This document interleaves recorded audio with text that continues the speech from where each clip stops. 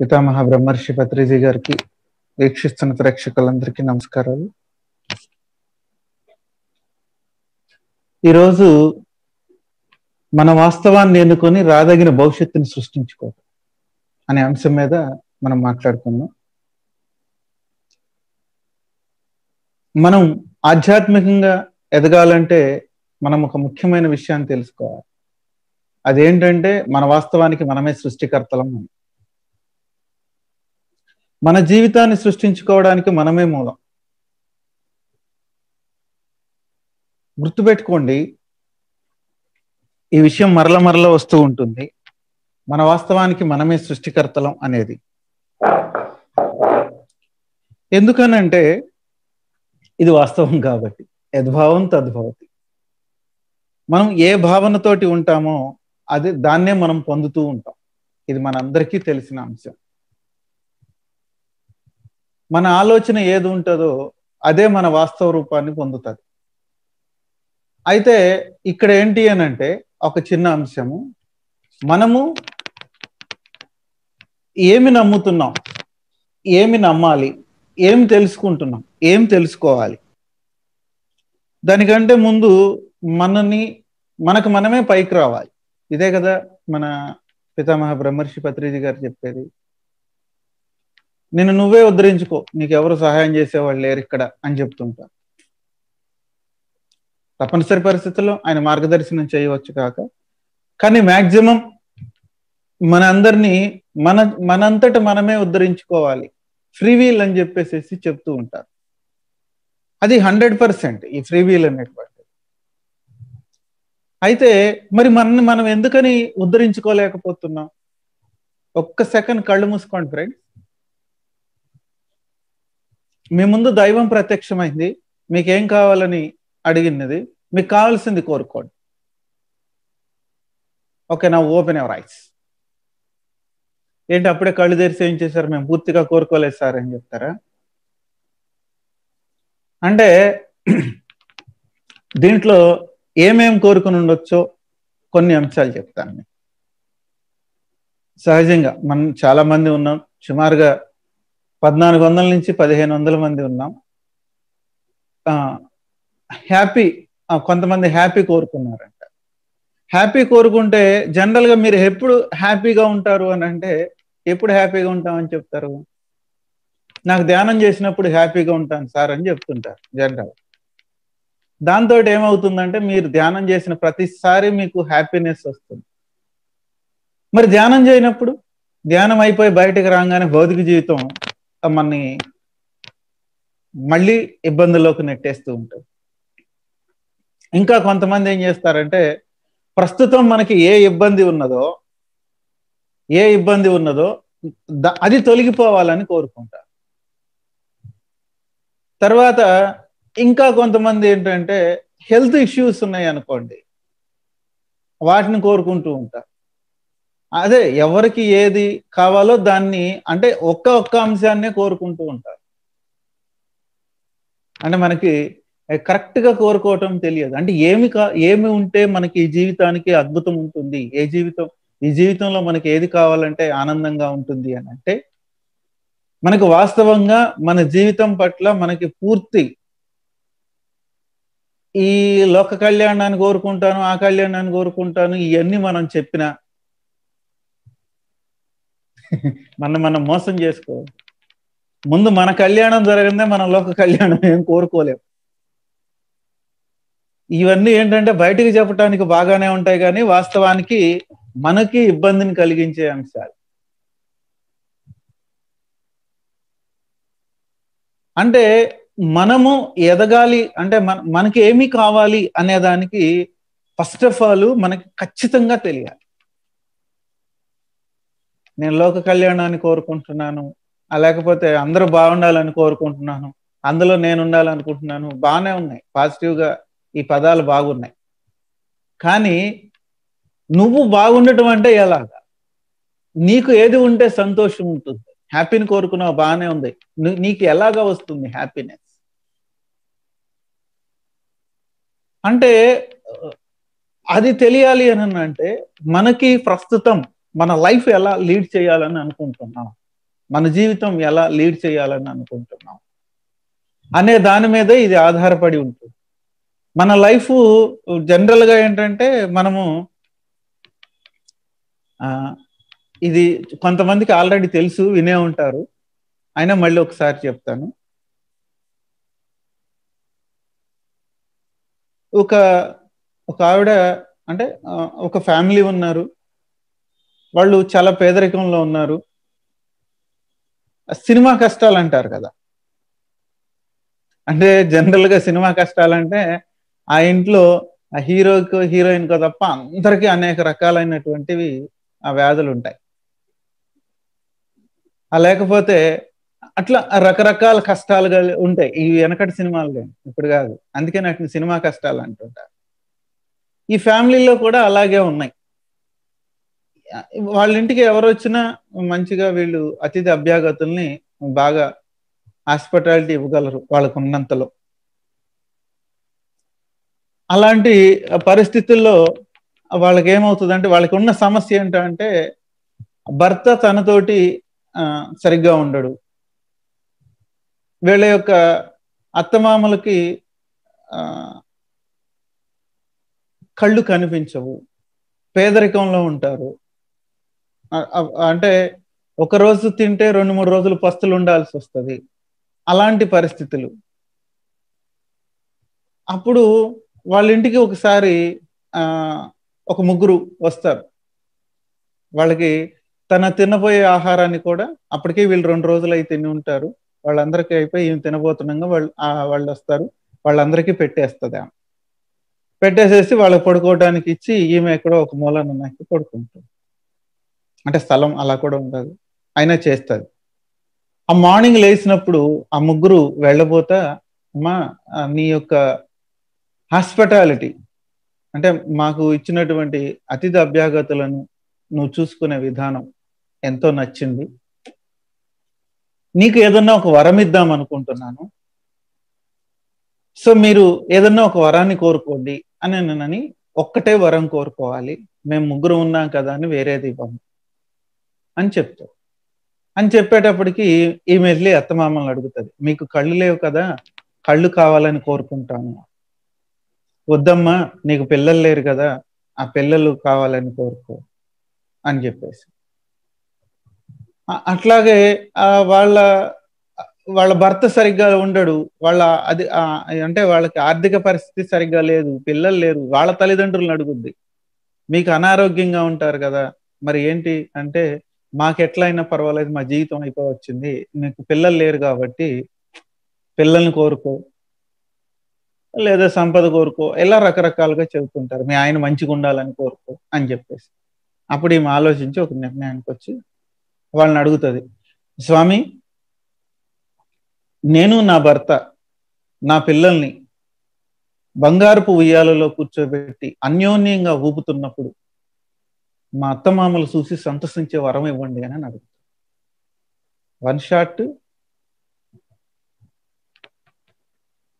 ఒకటే shot five birds అన్నట్టు ఇక్కడ. టూ బర్డ్స్ కూడా కాదు ఫైవ్ బర్డ్స్ అన్నట్టు. అంటే ఏమైంది? వాళ్ళిద్దరు కలిసి ఊపటం అంటే వీళ్ళిద్దరి మధ్య అన్యోన్యత ఉండాలి. వీళ్ళకి సంతానం లేదు కాబట్టి సంతానం వచ్చింది.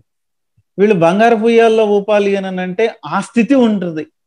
వీళ్ళకి రావాలని. వాళ్ళ అత్తమామలకి లేని కళ్ళు వచ్చేసినాయి. వాళ్ళు చూసి సంతసించాలి అంటే అంతే కదా. ఇట్లాగా అంటే మా ఇల్లంతా అంత ఆరోగ్యకరమైన ఆనందకరమైన జీవితంతో గడపాలి. ఎందుకనంటే ఇప్పుడు తర్వాత ఇక్కడ ఇంకొక చిన్న అంశం. మనం ఏదన్నా కోరుకోండి అని అంటే ఆ ఇక్కడ ఒక చిన్న అంశం గురించి ఎక్స్ప్లెయిన్ చేయదలుస్తుంది ఆర్థికంగా సంబంధించి మెయిన్గా. మనకి ఇప్పుడు దాకా ఆధ్యాత్మికత గురించి చెప్పబడినటువంటి నమ్మబడినటువంటి విషయాల్లో ఇది ఒకటి ఆధ్యాత్మికవేత్తలకు సంపద అనవసరము. కానీ ఆధ్యాత్మికవేత్తకే సంపద అవసరం. ఎందుకంటే వారి దగ్గర సంపద ఉంటే మంచి కార్యక్రమాలు చేస్తాడు. ఒక పనికిమాలిన వాడి దగ్గర ఒక రౌడీ లాంటి వ్యక్తి దగ్గర ధనం ఉంటే వాడు మళ్ళీ అదే పనులు చేస్తాడు. కాబట్టి ఆధ్యాత్మికవేత్తల దగ్గర సంపద ఉండటమే చాలా ఉత్తమ ఉత్తమం. ఆ సంపద సద్వినియోగపరచబడదు. కానీ ఇప్పుడు దాకా ఏంటంటే మనకు తెలిసినటువంటిది ఆధ్యాత్మికవేత్తకి సంపద అనవసరము. కానీ ఆధ్యాత్మికవేత్తకే సంపద అవసరం. సరే దీనికి ఏంటంటే మెయిన్గా మనము అసలు మనకి ఏం కావాలి అనుకుంటున్నాము అనే దానికి ఇప్పుడు ఒక క్లియర్ కట్. ఆ దాన్ని అంటే మనము రాదగినటువంటి భవిష్యత్తుని సృష్టించుకోవచ్చు. ఏం కావాలో మనం కోరుకుని మన వాస్తవాన్ని మనమే ఎన్నుకుని అలా కోరుకోవచ్చు. లోక కళ్యాణం అంటే ఏం చేస్తే లోక కళ్యాణం వస్తుంది? నిన్న మనం చెప్పుకున్నాం. భౌతికపరమైనటువంటి కోరికలు తీరకుండా మీరు ఏ లోక కళ్యాణం ఎన్నున్నా ఎవరిని వారిని మనని మనం మోసం చేసుకున్నట్టే. భౌతికపరమైనటువంటి కోరికలకి ధనానికి ముడిపడి ఉంటుంది. కాబట్టి సంపద అనేది ఒక సోషల్ ఎనర్జీ గుర్తుపెట్టుకో ఇస్తేనే వస్తుంది పంచితేనే పంచబడుతుంది. మనం ఎన్ని రోజుల మటు చెప్తున్నాం నీకు ఏది కావాలో దాన్ని పంచు ప్రేమను కావాలా ప్రేమను పంచు. మనీ కావాలా మనీని పంచు. మనకి కావాలి కానీ పంచటం తెలియదు. పంచటం తెలియకపోతే ఎట్లా? పంచటం తెలిస్తే ఆటోమేటిక్గా అది రావటం మొదలు పెడుతుంది.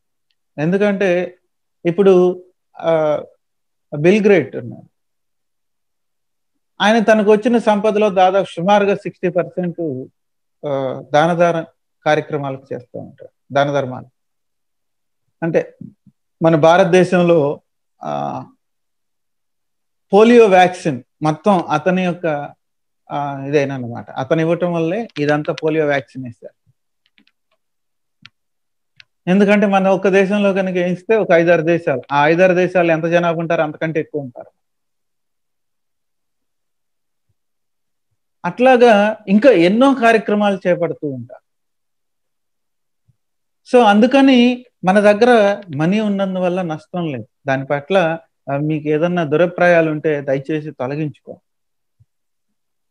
ఇస్తే వస్తుంది. ఎంత బాగున్నదో చూడండి.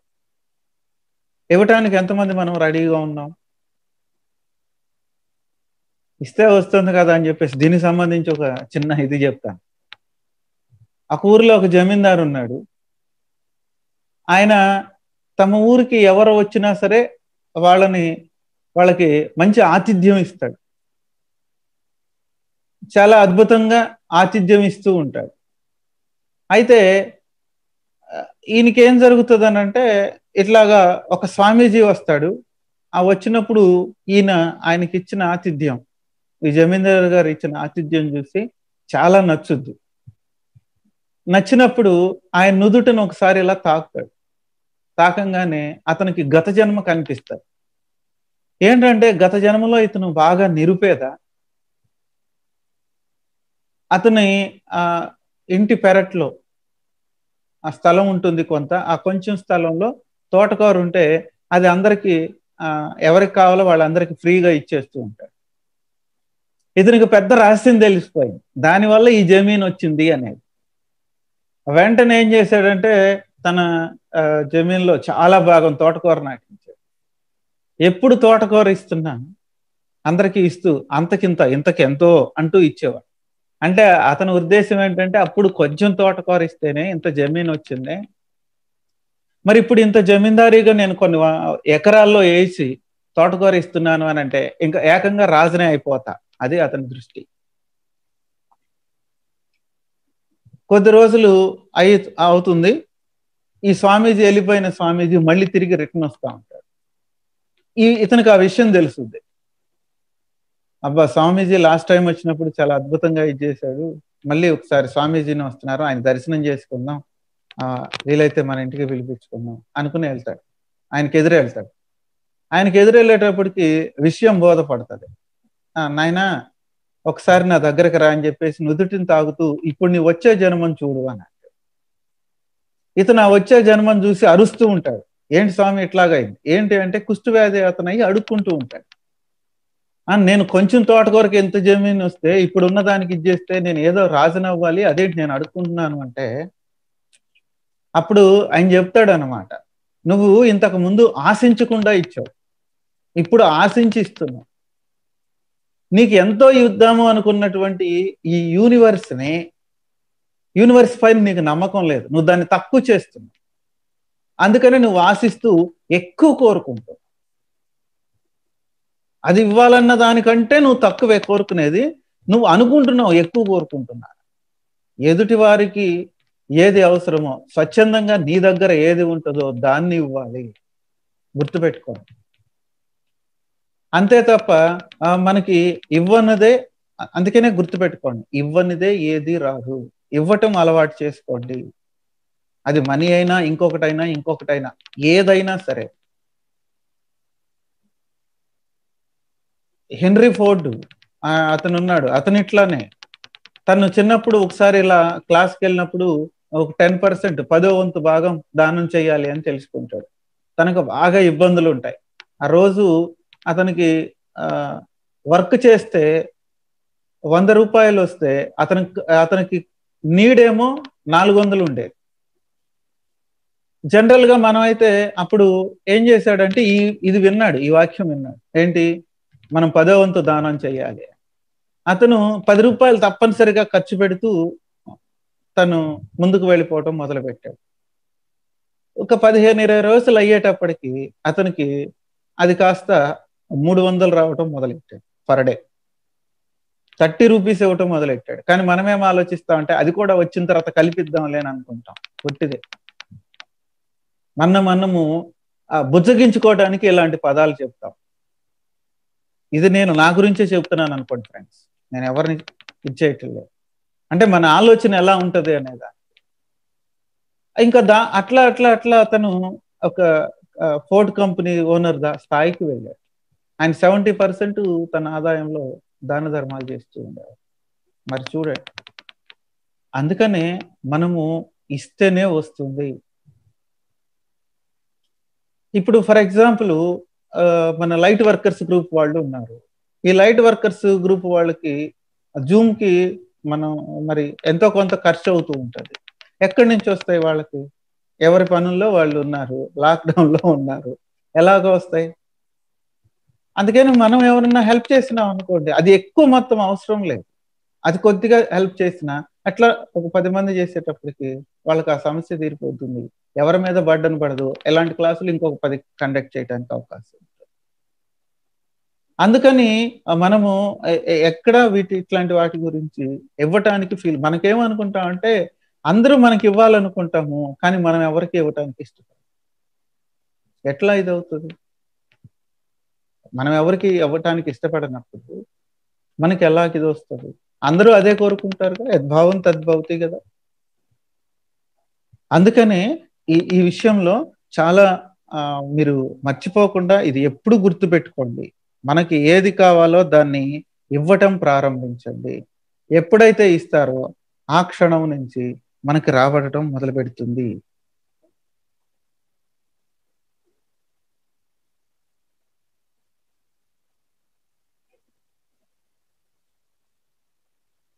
జరిగిన ప్రతి సంఘటన కూడా మనం గమనించినట్లయితే వెనక తిరిగి చూసినట్లయితే అది మన జీవితంలో ఎప్పుడో ఒకప్పుడు ఆలోచనగానో నమ్మకంగానో ఎమోషన్ గానో ఉండి ఉంటుంది. తప్పనిసరిగా ఇది మనం ఏ విషయాన్ని చూసుకున్నా అది ఇప్పుడు జరుగుతున్నది అని అంటే దాన్ని జాగ్రత్తగా దాని మూలంలోకి వెళితే ఇది ఎప్పుడో ఒకసారి మన ఆలోచనలోనో మన ఎమోషన్లోనో ఏదో ఒకటి అయి ఉంటుంది. అంటే దాని అర్థం ఏంటంటే మనం తీసుకునే ప్రతి నిర్ణయము మరియు ఇష్టము మన వాస్తవంగా రూపొందుతుంది. కానీ దానికి మనం ఇచ్చే ఎనర్జీని బట్టి దానికి ఆ మన జీవితంలో సిద్ధించటం అనే దానికి ముందు వెనకల ఉంటుంది. అంటే మన లోపలి ఆలోచనలే లేదా భావాలే మన బయటి ప్రపంచంలోని సంఘటనలు వస్తువులు మరియు బంధాలుగా సృష్టించబడతాయి. ఎందుకంటే మన వాస్తవానికి మనమే సృష్టికర్తలం కాదు. ఎవరైతే తన పూర్ణాత్మ కోసం వెతుకుతూ మేల్కొని ఉంటున్నారో వారు తమ వాస్తవానికి తామే సృష్టికర్తలమైన ఎరుకను కలిగి ఉంటారు. మామూలుగా ఈ ప్రపంచం ఎలా పనిచేస్తుందంటే ప్రజల సమూహాల యొక్క ఆలోచనల సామూహికమైనటువంటి ఆలోచనలే నిర్ణయిస్తాయి. అంటే ఒక ప్రాంతంలో ఇది సాధారణంగా ఏంటంటే ఒక్కొక్క ప్రాంతంలో ఆ అందరి యొక్క ఆలోచనలు ఎలాగా ఉంటాయో దాని ప్రకారమే ఇది నిర్ణయించబడుతూ ఉంటుంది. ఆ కారణం ఏంటంటే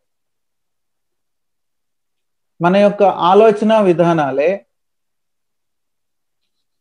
మన యొక్క ఆలోచన విధానమే అంటే నాట్ ఓన్లీ మనం ఒక్కరం మన అందరం కలిసి ఏదైతే ఆలోచిస్తామో అదే ఆ ప్రాంతంలో సంభవిస్తూ ఉంటుంది. ఒక సోమాలియా దేశాన్ని తీసుకున్నాం అనుకోండి ప్రపంచంలోనే ఆకలి సేవలు ఎక్కువగా ఉంటాయి. ఆ ఏరియాకు అంతే ఉంటుంది. అంటే అక్కడ అందరి జనాలు పుట్టడం దగ్గర ముందు నుంచే ఇక్కడ ఏమో అయిపోతుంది ఏమో అయిపోతుంది ఏమో అయిపోతుంది అనే దేశలో ఉంటారు. అదే జరుగుతూ ఉంటుంది. అలా అక్కడేనే కాదు చాలా ప్రాంతాలు అంతే ఉంటాయి. అంటే ఆ అందరి ఆలోచనలు సుమారుగా అంతే ఉంటాయి. దాని ప్రకారమే అక్కడ సంభవిస్తూ ఉంటుంది. ఇంతకు ముందు చెప్పినట్లు అంటే ఇది ఎప్పుడో మరి చెప్పానా లేదు ఒకసారి ఆ పత్రి సారు మంచిర్యాలకు వచ్చి బెల్లంపల్లిలో క్లాస్ చెప్తుంది ఆ రోజు థాట్ పొల్యూషన్ గురించి చాలా ఎక్సలెంట్గా చెప్పారు. ఏమంటే థాట్ పొల్యూషన్ వల్లనే ఈ ప్రపంచం అంతా ఇట్లా తయారయ్యింది. ఆలోచనలు ఆలోచనలు ఇలా క్రాష్ అవుతున్నాయి. అందుకని ఇలా జరుగుతుంది అని. ఎందుకంటే అంతకుముందు ఆ సబ్జెక్ట్ మీద చెప్పినప్పుడు నాకు కొంచెం డౌట్ ఉండేది. నేను ఏమన్నా తప్పు చెప్తున్నానా అని. ఎందుకంటే ఆ మనం చెప్పుకున్నాం కదా ఇంతకు ముందు నేను చెప్పుకున్నాం మనకు వచ్చే వాటిని మనం నమ్మము అని. అంటే ప్రాథమికంగా స్టార్టింగ్లో అలాగే ఉండేది నాకు కూడా. ఆ తర్వాత తర్వాత అర్థమైంది. ఎస్ మనను మనం నమ్మాలి మనకు వచ్చేది కరెక్టేనా ఆ రోజున ఎందుకో జనవరి ట్వంటీ సిక్స్త్ పిల్లలతోటి మాట్లాడుతూ అయిపోయిన తర్వాత టీచర్స్ తోటి మాట్లాడుతున్నప్పుడు వచ్చింది ఈ విషయం. మన సెవెంటీ ఫైవ్ పర్సెంట్ పొల్యూషన్ కేవలం మన థాట్స్ వల్లే ఉంటుంది. ఈ పొల్యూషన్ థాటే ఈ ప్రపంచానికి వినాశనం. కాబట్టి ఫస్ట్ మనము మన ఆలోచనల్ని పొల్యూట్ కాకుండా అంటే మన ఆలోచనలు పొల్యూట్ కాలేదంటే పిల్లలు కూడా పొల్యూట్ అవ్వరు. టీచర్స్ కదా అందుకోసం. ఆ విషయం గురించి మాట్లాడా కాబట్టి మన ఆలోచనలన్నీ వేటినైతే నమ్ముతాయో ఏవైతే నమ్మకాలు ఉన్నాయో అవే మన యొక్క వాస్తవంగా తయారైపోతుంది. గుర్తుపెట్టుకో.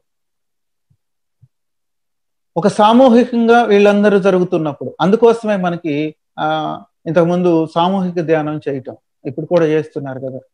ఆ శ్రీదేవి మేడం దిగురాల శ్రీదేవి మేడం చేస్తున్నట్టున్నారు కదా. సో దానికి రీజన్ అదేనమాట అందరం కలిసి అది చేసినప్పుడు సామూహికంగా ఆ ఎర్త్ రక్షించబడటం అన్నట్టు. మనందరి యొక్క కలయిక.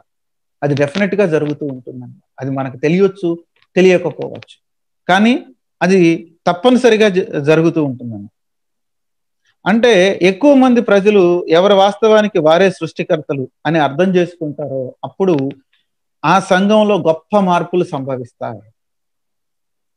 ఏం జరిగింది?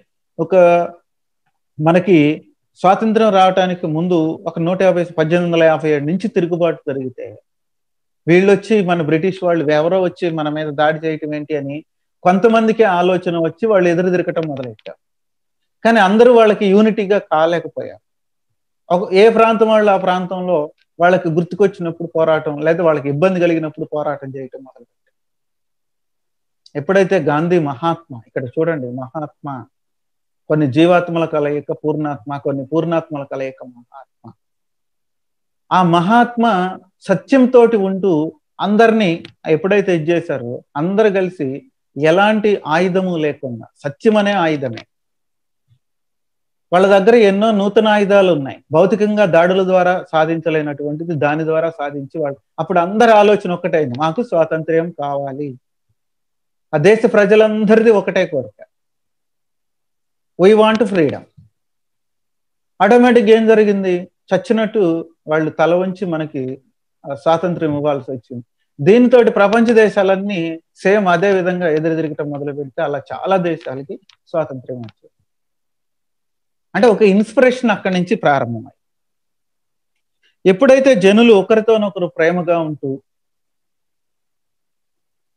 శుభ్రమైన వాతావరణం ఈ విశ్వంలో ఎక్కడ ఉంటుందో అక్కడే జనులు జీవిస్తూ ఉంటారు. మరి అలాంటి ప్రపంచంలో అద్భుతమైన పాజిటివ్ మీదే మన కేంద్రీకరణ ఉంటుంది. అందుకనే మనం ఎప్పుడు ఏది ఆలోచించినా పాజిటివ్ గానే ఆలోచించాలి. ఎప్పుడైతే మనం అలా పాజిటివ్ గానే ఆలోచిస్తామో ప్రతి ఒక్కరిలో అందాన్ని ప్రేమను చూడగలుగుతాం.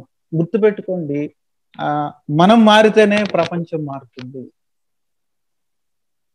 మళ్ళీ ఇక్కడ ఆ విషయాన్ని ఒకసారి గుర్తు చేస్తున్నాం. శ్రీరామ్ శర్మ ఆచార్య గాయత్రి పరివారం అని చెప్పినట్టు మేం మారుతాం యుగం మారుతుంది. అంటే నేను మారడానికి సంసిద్ధంగా ఉన్నప్పుడే మన యొక్క ప్రపంచం మారుతుంది.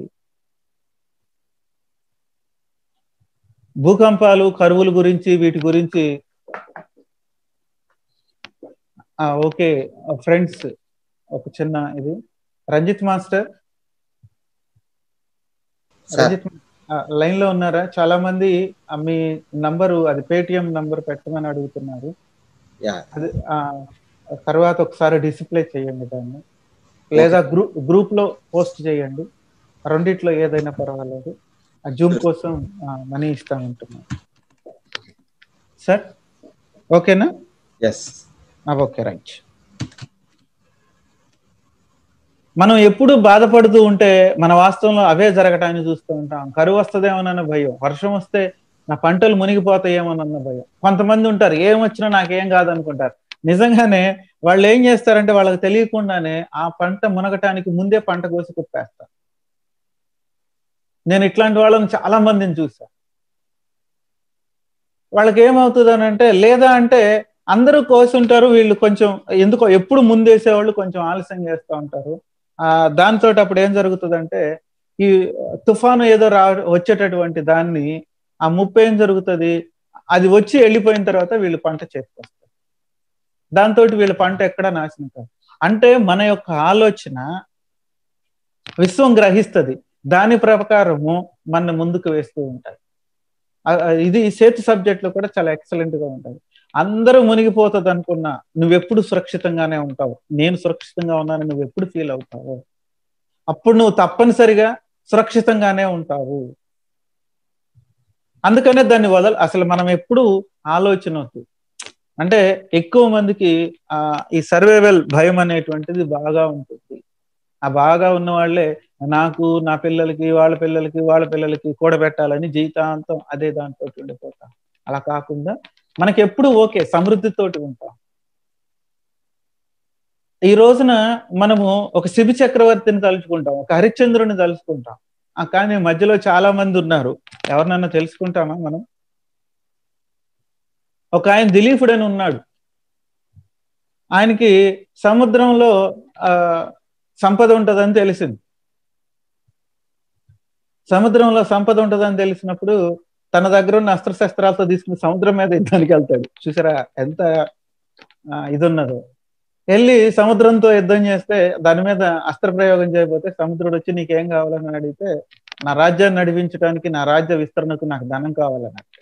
అతను కొంత ధనం ఇస్తాడు. అది తీసుకువెళ్తాడు. ఇంకా తర్వాత అతనికి ఏమవుతుందంటే అప్పటిదాకా బాగా ఇది చేసిన వ్యక్తి ఇంకా దాన్ని మిస్యూజ్ చేయటం మొదలు పెడతాడు ఆ మళ్ళీ ప్రాబ్లం వస్తుంది. మళ్ళీ కొద్ది రోజుల తర్వాత మళ్ళీ వస్తాడు. తెలిసింది కదా ఇప్పుడు మార్గం. అప్పుడు అతని కోసం సముద్రం కొన్ని ధనరాశులు సృష్టించి ముందుకిస్తాడు. అతనికి సడన్గా వీటన్నిటిని ఎలా తీసుకెళ్ళాలి అని ఒక ఇది వచ్చి సముద్రుడిని మళ్ళీ పిలుస్తాడు. లేదా బాణాలు వేస్తానని కూర్చుంటాడు. అతని దగ్గర అస్త్ర శస్త్రాలు ఉంటాయి. వెంటనే సముద్రుడు వస్తాడు. ఇవన్నీ తీసుకువెళ్ళటానికి నాకు ఏదన్నా అంటే వీటన్నిటిని నింపటానికి ఒక వస్తువు కావాలి అట్లాంటిది ఏదన్నా తయారు చేసి అంటే వెంటనే అతను ఒక పుర్రిస్తాడు ఈ పుర్రిలో నువ్వు నింపేసే ఇది చిన్నగా ఉంది కదా ఏం కాదు నింపి చూడడం అంటాడు. ఎన్ని పోసినా పుర్రిలో ఖాళీ ఉంటుంది. ఇతనికి ఆశ్చర్యం అనిపిస్తుంది ఇదేంటంటే ఇది నీ పుర్రే అని అంటాడు. ఇది నీ గత జన్మ యొక్క పుర్రే నీకు ఆ మితిమీరినటువంటి ఇవి ఉన్నాయి. నువ్వు దాన్ని కరెక్ట్గా చేసుకుంటే కరెక్ట్గా నీకు ఎప్పటికప్పుడు రాబడుతుంది నువ్వు దాన్ని అలా చేసుకోవటం లేదు. అందుకే నీకు ఇది ఇవ్వటం జరిగింది. వెంటనే అతనికి ఏం జరుగుతుందంటే చైతన్యం వస్తుంది. తన తప్పు తెలుసుకుంటాడు వాళ్ళు ఏంటంటే తమ మొత్తం నలుడు కానీ హరిశ్చంద్రుడు కానీ వీళ్ళంతా తమను పూర్తిగా కోల్పోయినా సరే ఇవ్వాలనుకుంటారు. ఆ తర్వాత మొత్తం తిరిగి వస్తుంది. అంతకు మించి అద్భుతంగా వస్తుంది. కాబట్టి ఏ ఆలోచనతోటి ఉంటే అదే మన వాస్తవంగా సృష్టించబడుతుంది అని అంటే అదేనమాట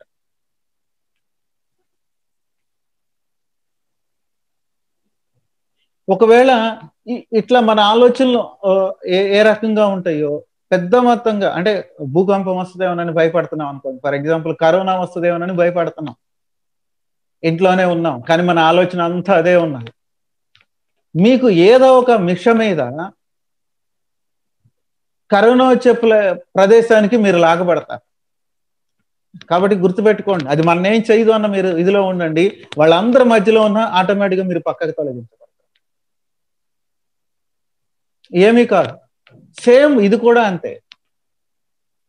మన భవిష్యత్తుని అంటే మన ఆలోచనే మన వాస్తవాలు మన వాస్తవాన్ని మనమే సృష్టించుకుంటాం. మన వాస్తవానికి మనమే కారణం అంటే ఇదేనన్నమాట.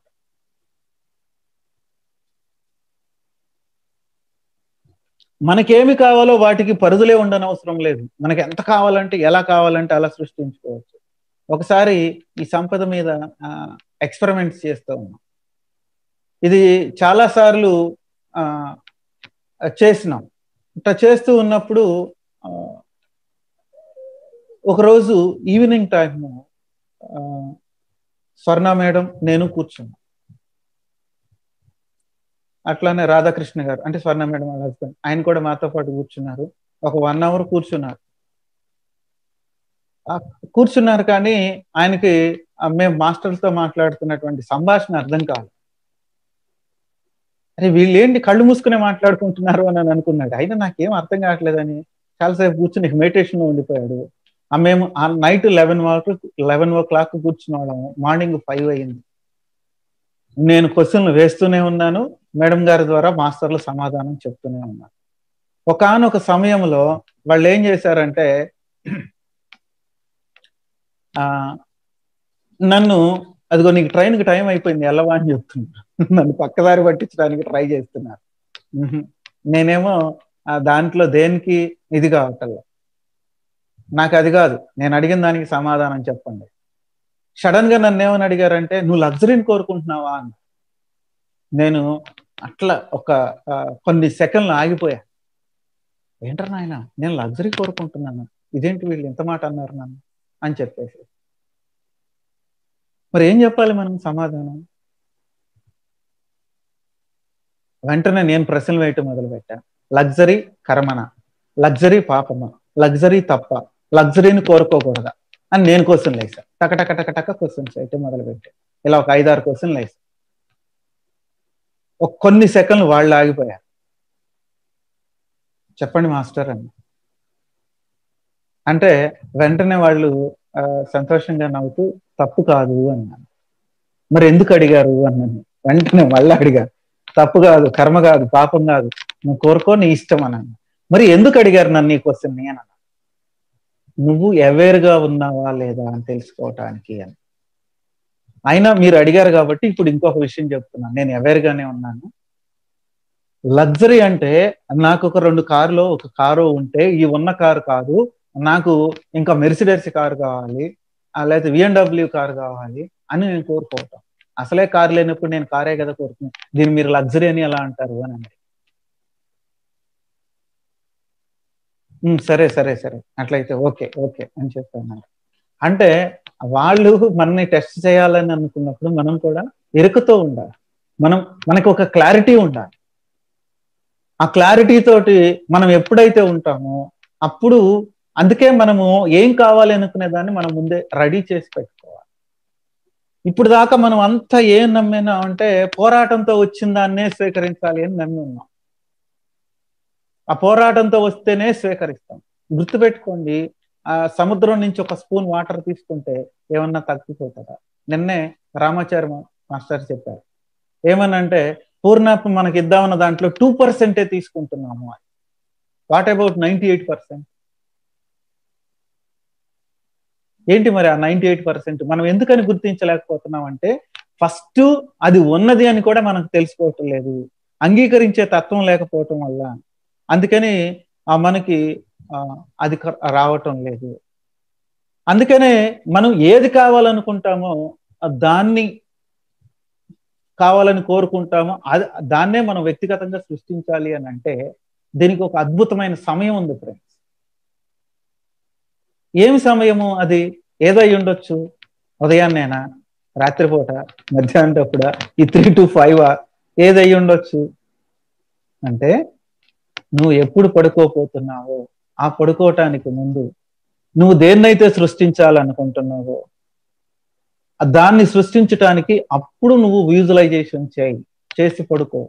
అప్పుడేమవుతుందంటే నీ నిదట్లో కూడా అదే అంశము రిపీట్ అయ్యి దాన్ని ఎలా సృష్టించాలో చాలా ఎక్సలెంట్గా ఆ సృష్టి అనేది నువ్వు చేయగలుగుతావు. అప్పుడు నీ వాస్తవంలోకి అది త్వరగా వస్తుంది. మనం ఏం చేస్తామంటే అది కోరుకుంటాము ఆ కోరుకున్న తర్వాత రెండు మూడు రోజులు చేస్తాం మూడో రోజు మర్చిపోయి నిద్రపోతా ఉంటాం. నాలుగో రోజుకి అసలే గుర్తుండదు. మళ్ళీ ఒక వారం తర్వాత మళ్ళీ మనకి ఏదో ఇబ్బంది జరుగుతుంది. అప్పుడు గుర్తుకొచ్చి మళ్ళీ అప్పుడు కోరుకుంటాం. ఇదే రిపీట్ అవుతుంది మన జీవితంలో ఇప్పుడు దాకా అదే జరుగుతుంది. ఆ కోరుకోవడం ఆ మనం ఏదైతే కావాలనుకున్నాం ఆ వాస్తవాన్ని సృష్టించుకోవడానికి రోజు అలాగా అది సృష్టించబడేంత వరకు చెయ్యాలి. అంత ముందు దాకా మనం టీవీ చూసో పుస్తకం చదివో దామని వెళ్ళి పడుకుంటాం కానీ దీన్ని మాత్రం మర్చిపోతాం. మళ్ళీ మనకి ఎప్పుడో రెండు మూడు రోజుల తర్వాత గుర్తుకొస్తాయి. అలా కాకుండా మీరు దేన్నైతే సృష్టించాలనుకుంటున్నారో దాన్ని ఖచ్చితంగా ప్రతిరోజు పడుకోబోయే ముందు ఆ అంశాన్ని జస్ట్ విజువలైజేషన్ ద్వారా దీన్ని నేను పొందుతున్నాను. అది ఆల్రెడీ ఇప్పటికే ఉన్నందుకు థ్యాంక్స్ కృతజ్ఞతలు చెప్తూ పడుకోను ఆ తర్వాత నిద్రపోను ఇది అద్భుతం సృష్టిస్తుంది. కావాలంటే చేసి చూడు. డెఫినెట్గా జరుగుతుంది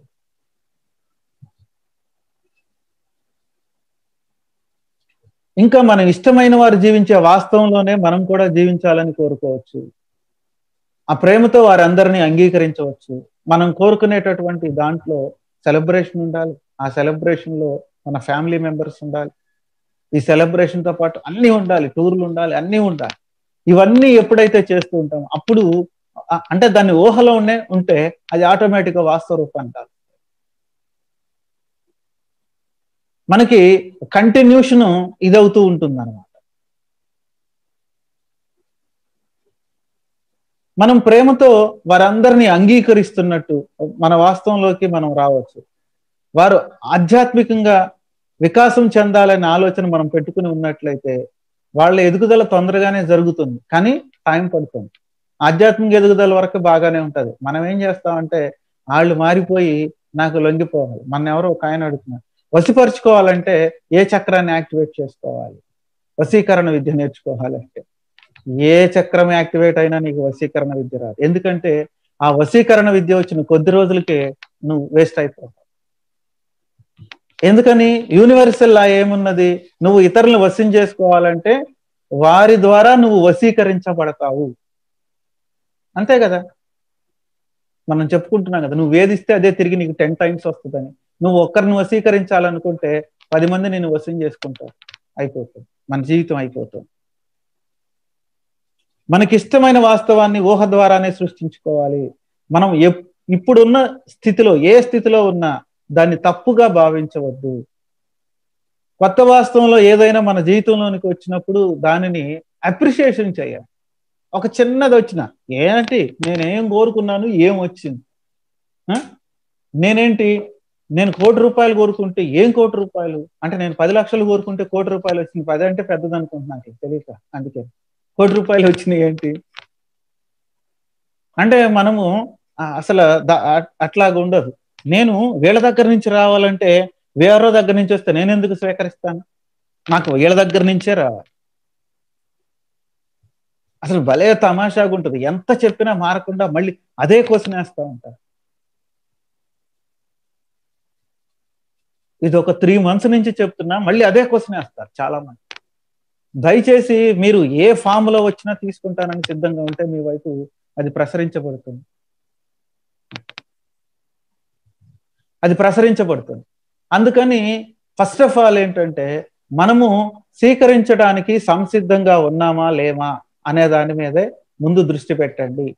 మీరు ఎప్పుడైతే రెడీగా ఉంటారో అప్పుడు ఆ స్వీకరించడానికి సంసిద్ధంగా ఉంటే ఏ రూపంలో వచ్చినా ఎక్కడి నుంచి వచ్చినా అప్పుడు స్వీకరించగలుగుతారు. లేకపోతే అది మన దగ్గరికి రాదు. తర్వాత మనకు వచ్చిన దాన్ని కొంచెం వస్తే ఏ కొంచెమే వచ్చింది. నేను ఏమి అడిగాను నువ్వేమి ఇస్తున్నావు? జనరల్గా దేవుడి దగ్గర కూడా. ఇది ఎలాగుంటుందంటే ఈ కోరిక మన కోరిక ఎలాగుంటుందో ఒక చిన్న అంశం చెప్తాను.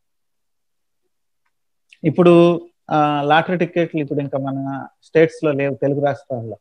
ఈ కేరళ ఇటు దాంట్లో ఇంకా లాటరీలు ఉన్నాయి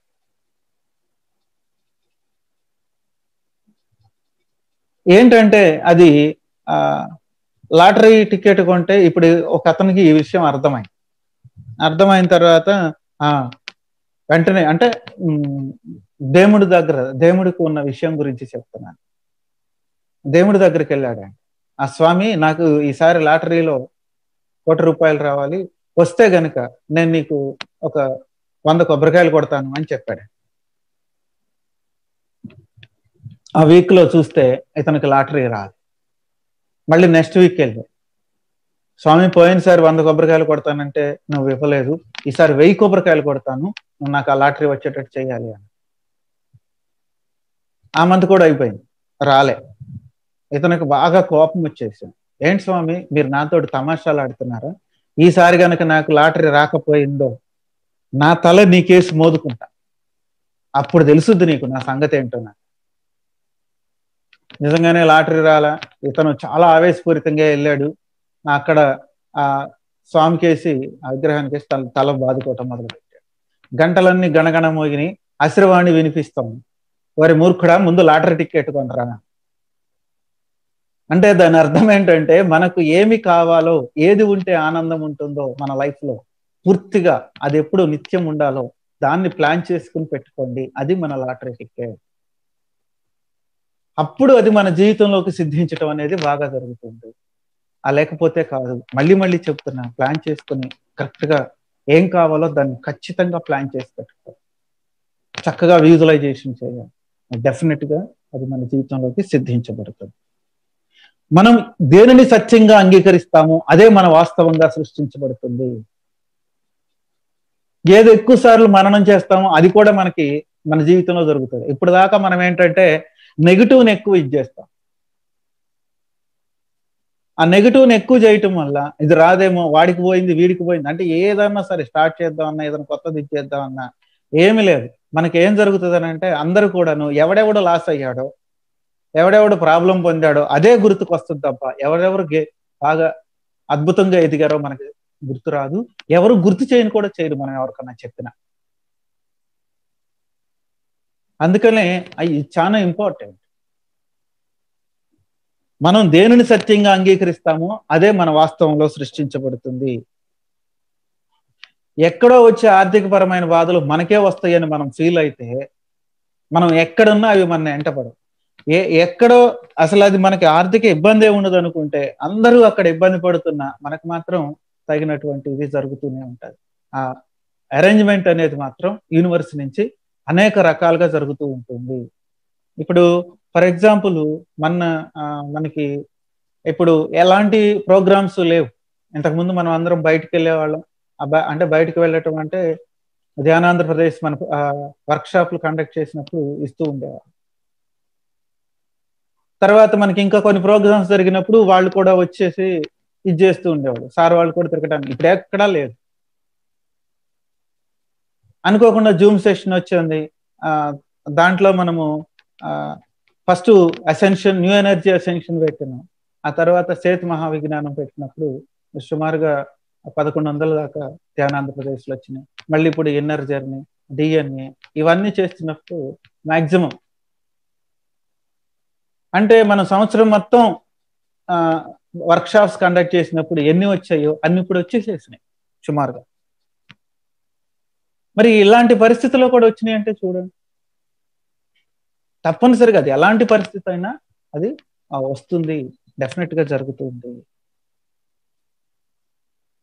మనం ఎప్పుడైతే మనం ఎప్పుడు వ్యక్తిగతంగా ఆర్థికంగా సమృద్ధిగా ఉన్నట్లు భావిస్తామో మనకి ఎప్పుడు అదే సిద్ధిస్తూ ఉంటుంది.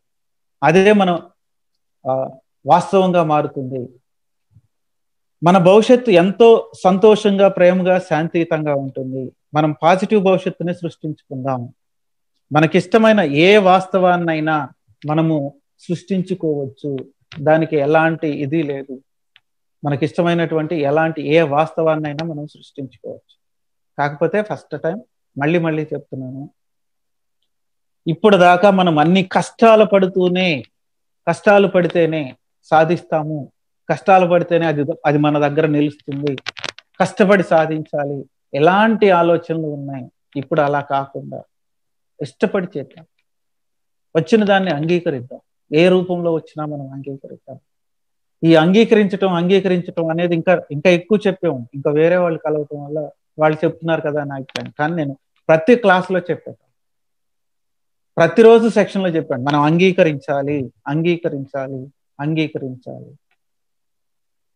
అంగీకరిస్తేనే అక్కడ అద్భుతం తెలుస్తుంది. అంగీకరించకపోతే మనం అక్కడ అద్భుతం తెలియదు. నిన్నటి ఊహ నేటి వాస్తవం. నేటి ఊహ రేపటి వాస్తవం. గుర్తుపెట్టుకోవాలి.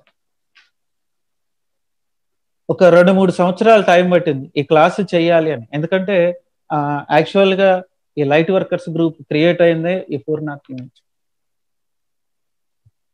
ఈ పూర్ణాత్మ అనే సబ్జెక్ట్లో ఈ లైట్ దాని మీద చేస్తున్నప్పుడు అప్పుడు మాకు ఒక ఆలోచన వచ్చా. దీని మీద ఒక వర్క్ షాప్ చేస్తే ఎలాగుంటది? కాంతి మీద. అంటే ఏమీ అనుకోలే. లైట్ వర్క్స్ అనేటువంటి దాని మీద ఒక వర్క్ షాప్ చేయాలి. పూర్ణాత్మ అని కూడా అనుకోలేదు. దాని మీద ఒక వర్క్ షాప్ చేయాలని అనుకుంటుండే. ఎలా చెయ్యాలి ఏంటో మాకు కూడా తెలియదు. కానీ అనుకుంటుండే.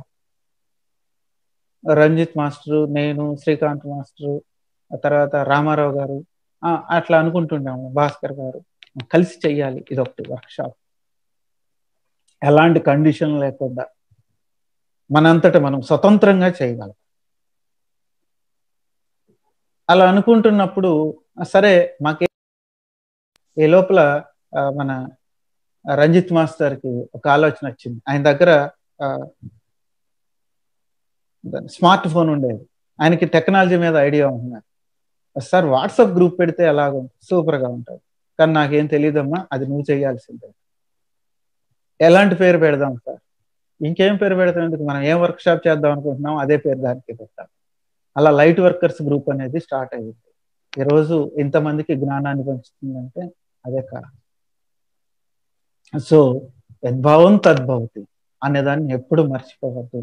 ఓకే ఫ్రెండ్స్ కొద్దిసేపు ధ్యానం చేద్దాం. అందరూ హాయిగా రిలాక్స్గా ధ్యానంలో కూర్చుందాం. ఒక దీర్ఘమైన శ్వాస తీసుకుని మెల్లగా వదలండి. ఒకసారి మీ శరీరం మొత్తాన్ని గమనించండి. మరొక మారు గాఢమైన శ్వాస తీసుకుని మెల్లగా వదలండి. ఆ లోపల ఎలాగా ఉన్నదో గమనించండి.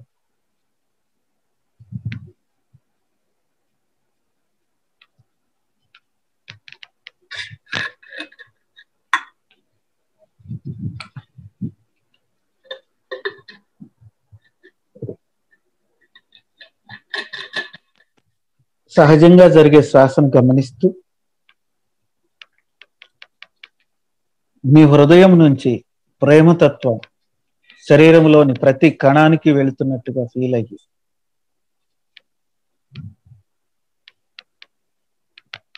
అక్కడి నుండి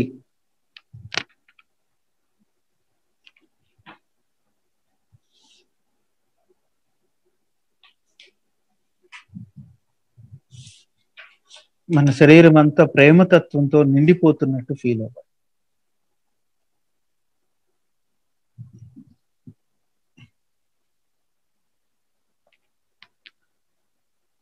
ఎప్పుడైతే మనము అలా పూర్ణాత్మ స్థితికి వస్తామో అప్పుడు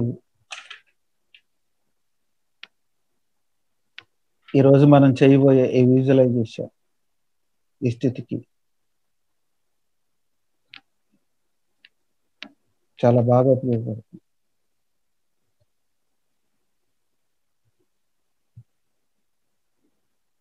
ఇప్పుడు మనం పూర్ణాత్మ స్థితిలోనికి వచ్చి మనము మన పూర్ణాత్మ కలిసి రాబోయే కొన్ని సంవత్సరాల పాటు లేదా మన జీవితాంతం ఎలా ఉండాలనుకుంటున్నామో పూర్ణాత్మతో కలిసి విజువలైజేషన్ చేయాలి. ఫ్రెండ్స్ అబౌండెన్స్ సమృద్ధి అనేటువంటిది తప్పు కాదు. గుర్తుపెట్టుకోండి. సమృద్ధి అనే దాన్ని మనం పొందటానికే ఈ భూమిపైకి వచ్చినాం. అంతేగాని రొప్పుతూ రోస్తూ జీవితాన్ని ఈశ్రోమని గడపడానికి ఈ భూమిపైకి రాలేదు. ఇన్ని రోజుల మట్టి మనకు అది తెలియదు. అలా అనుకుంటున్నాం అంతే. కానీ ఈ భూమిపైకి మనం ఎందుకు వచ్చినాము అని అంటే అద్భుతంగా మనం ఎదగటానికే వచ్చినాం. ఎప్పుడైతే మీరు అలా అద్భుతంగా ఎదగాలి అని కోరుకుంటున్నారో అప్పుడు దానికి తగ్గటువంటి వాస్తవం మనకి సృష్టించబడుతుంది. ఈ సృష్టించేటటువంటి ఈ వాస్తవాన్ని మనం ఇప్పుడు మన పూర్ణాత్మతో కలిసి కొన్ని సంవత్సరాల వరకు ఎలాగైతే మన జీవితం ఉండాలని కోరుకుంటున్నామో ఆ విధంగా ఊహ ఊహించండి. ఇతరులకు ఇబ్బంది కలగనటువంటి ఈ ఊహ ఏదైనా అద్భుతమే ఫ్రెండ్స్. గుర్తుపెట్టుకోండి. ఎవరిది లాక్కోవాలనుకోవటం లేదు. విశ్వం మనకి ఇచ్చేదాన్నే మనం తీసుకోవటానికి ట్రై చేయాలి.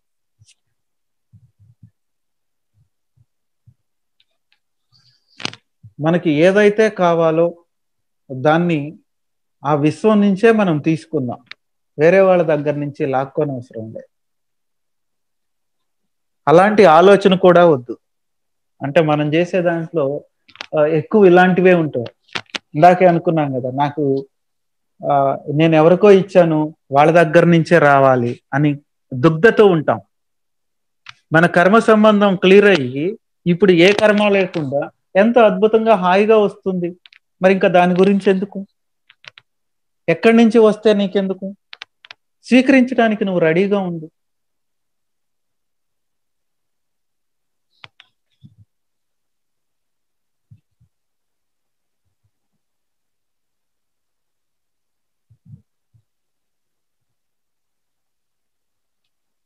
ఈ ఊహించేటప్పుడు దానికి క్రియేటివిటీ ఎంతో ముఖ్యం ఫ్రెండ్స్.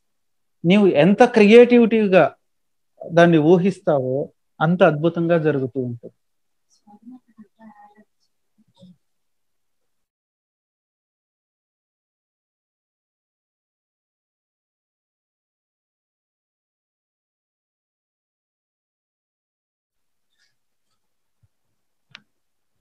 రంజిత్ స్వర్ణ మేడం యాడ్ అవుతున్నారు ఒకసారి. ఫుల్ మెంబర్స్ అయ్యారని ఆమెకి ఇదవుతుందంటే ఒకసారి ఓకే సార్. Okay sir. అందుకనే మనము మన ఊహని ఎక్కడ మనం తక్కువగా చేసుకోవద్దు. కారు కావాలా? ఓకే కోరుకో. మంచి కారే కోరుకో. దాని కలర్తో సహా ఊహించు. ఒక మంచి ఇల్లు కావాలా? ఏమి ఇది లేదు. అయ్యో నాకు తక్కువ చిన్న ఇల్లు. ఈ లిమిట్స్ అన్ని మన బ్రెయిన్లోనే ఉన్నాయే తప్ప అక్కడ ఏమీ లేదు. విశ్వంలో సముద్రంలో నుంచి ఒక ట్యాంకర్ నీళ్ళు తీసుకుంటే మాత్రం దాని నీటి మట్టం ఏమన్నా తక్కువ అనంతమైన సంపదలో నుంచి మనకి ఇచ్చేటటువంటిది అదే పెద్ద ఇదినా.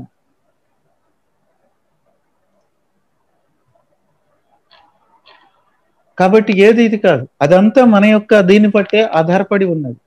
మనం అలా ఫీల్ అవ్వాల్సిన అవసరం లేదు ఫ్రెండ్స్ విశ్వం ఎంతో మన కోసం చేయటానికి రెడీగా ఉన్నది. మనం కూడా మన ద్వారా చేయవలసిన సహాయం దానికి ఉన్నది. అందుకోసమే అది కోరుకుంటుంది. మనకి ఇవ్వటానికి ఇష్టపడుతుంది. మన నుంచి అది కోరుకుంటుంది నువ్వు చెయ్యవలసినటువంటి మంచి చేయాల్సిందే.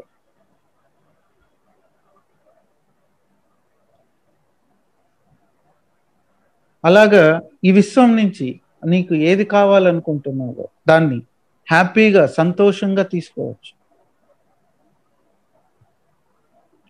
మనం ఏదైతే సృష్టించాలనుకుంటున్నామో దేన్నైతే ఊహించాలి ఊహిస్తున్నామో అది మన వాస్తవ జీవితంలో మనకు వచ్చినట్టుగా ఫీల్ అవ్వండి.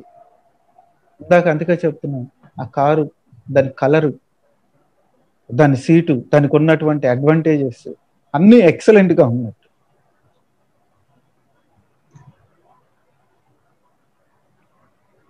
అలాగే మీకున్నటువంటి సంబంధ బాంధవ్యాలు చాలా ఎక్సలెంట్గా మన సంబంధ బాంధవ్యాలు ఉన్నట్టు చూడండి అందరితోటి అద్భుతమైన సంబంధ బాంధవ్యాలను కలిగి ఉన్నట్టు చూడండి. అలా మీరు ఎప్పుడైతే ఇది చేస్తుంటారో అవి కూడా మనకి చాలా అద్భుతంగా ఇదవుతాయి అన్నమాట. ఆ సంబంధ బాంధవ్యాలు కూడా చాలా అద్భుతంగా జరుగుతూ ఉంటాయి. ఇవి కూడా చాలా ముఖ్యం. అందుకని సంబంధ బాంధవ్యాలను తక్కువగా చేయండి వాటి వల్ల మనకి ఎక్కువ సంతోషం వస్తూ ఉంటుంది. వాటి వల్ల మనం ఎప్పుడు ఆనందంగా ఉంటాం. మరింతగా మన యొక్క సమృద్ధి పెంచబడుతుంది. అందుకోసమే మనము వాటిని వేటిని వదలవు. అన్నిటినీ సంబంధ బాంధవ్యాలను పెంచుకోవడం పెంచుకోవచ్చు. అలాగే మన ఆరోగ్యం మన ఉద్యోగం మన ఆధ్యాత్మిక జీవితం మనం హాయిగా ఉండటం సాంఘికపరమైన అలవాట్లు ఇలాంటివన్నీ కూడా మనం అనుకున్నట్లు మనకిష్టమైన విధంగానే ఉంటున్నట్లు.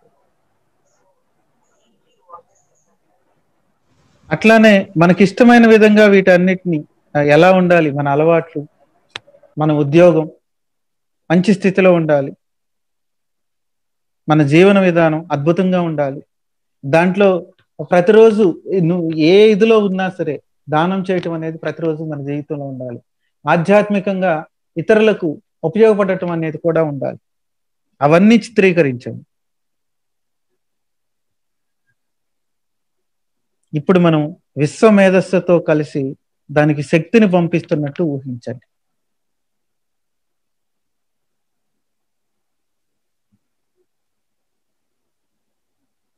మన జీవితం మొత్తం సమతాస్థితిలో ఉన్నట్లుగా ఆ కాంతితో నిండిపోయి సమతాస్థితిలో ఉన్నట్లుగా ఊహించండి.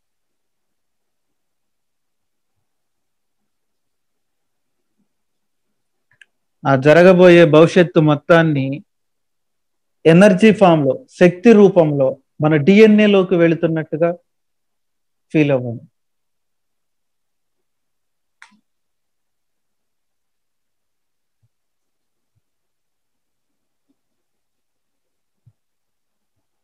దీనివల్ల ఏమవుతుందంటే మనం మన ఉన్నత యొక్క వాస్తవంలో మనం ఏ వాస్తవంలో ఉన్నామో ఆ వాస్తవంలోకి అది సిద్ధించడానికి అవకాశం త్వరగా శీఘ్రంగా ఏర్పడుతుంది.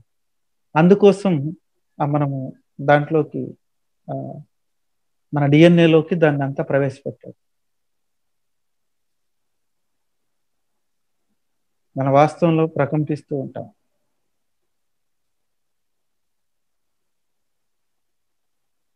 ఇప్పుడు మనకు చాలా సంవత్సరాలు గడిచిపోయాయి.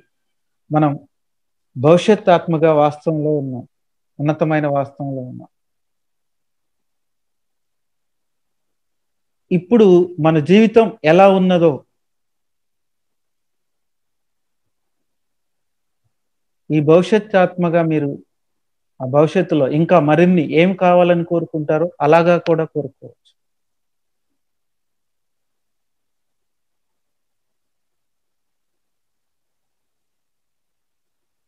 ఇలాగా మనము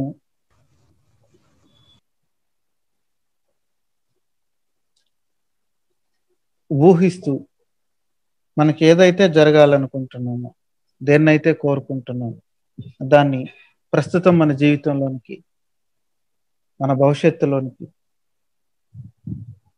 మనం ఫీల్ అయి ఎంత బాగా ఫీల్ అయితే అంత అద్భుతంగా అది మన జీవితంలోనికి వస్తుంది ఫ్రెండ్స్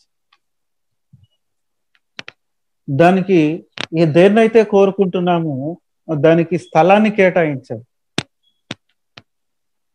అది తప్పనిసరి. ఎప్పుడైతే స్థలాన్ని కేటాయిస్తామో అప్పుడు అది మన జీవితంలోకి అతి శీఘ్రంగా వస్తుంది.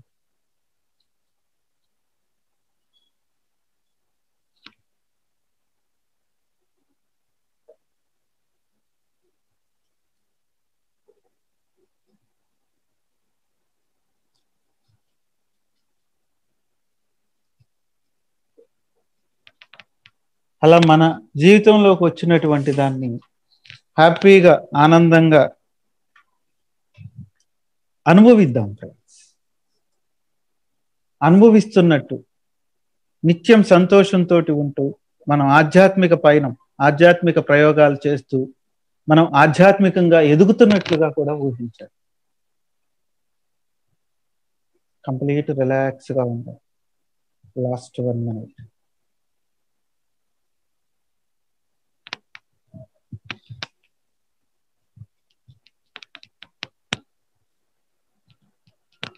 హాయిగా రిలాక్స్డ్గా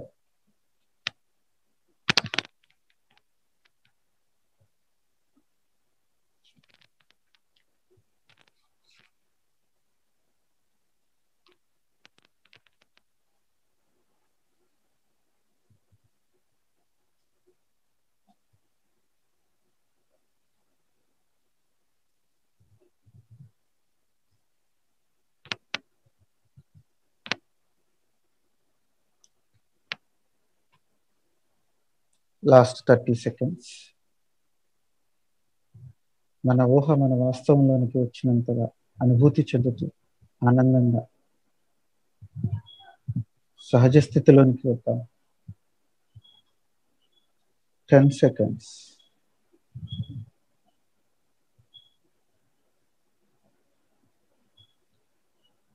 ఓకే ప్లీజ్ రెండు చేతులు విడదీసి కళ్ళ పైన ఉంచారు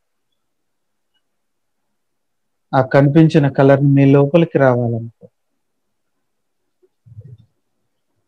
మీ ఊహ వాస్తవమై అవుతున్న అయినందుకు ఆనందంగా కళ్ళు తెరవాలి ఆ చేతులు తొలగిస్తూ కళ్ళు తెరవాలి